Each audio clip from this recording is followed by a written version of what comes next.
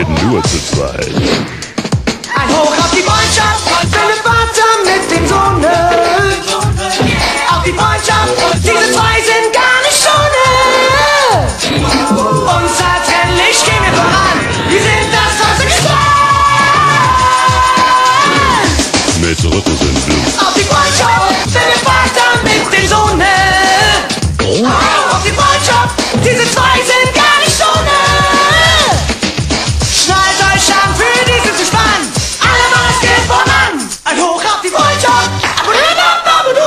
Yeah.